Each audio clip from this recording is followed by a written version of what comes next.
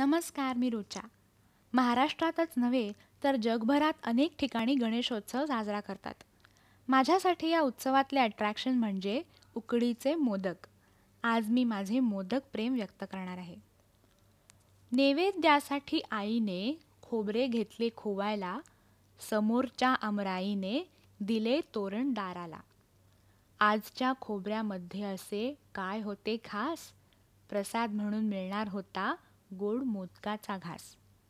हळूहळू वितळू लागला गूळ खोबऱ्याभोवती निरांजनात मिठी मारून बसल्या होत्या वाती. श्वेत मुलायम समयीमध्ये भरले मोदकाचे सारण धावणाऱ्या नात्यांना लाभले भेटावयाचे कारण. अनोख्या शब्दांच्या आरत्या पितळी झांजांची त्यांना साथ गुणगान ऐकुनी प्रियपुत्राचे प्रसन्न झाले भोलेनाथ. दुर्वांकुर व जास्वंदी झाल्या मस्तकी विराजमान पंचपक्वानांदी नटले सुगरास केळीचे पान.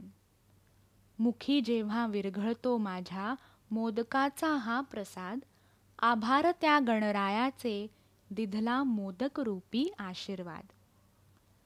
तर अशा प्रकारे मी एक मेजर मोदक फॅन आहे. तुम्हालाही मोदक आवडत असतील व ही कविता आवडली असेल तर नक्की लाईक व शेअर करा आणि चॅनल सबस्क्राईब करायला विसरू नका. सगळ्यांना गणेश चतुर्थीच्या मनपूर्वक शुभेच्छा. Bye and thank you so much for listening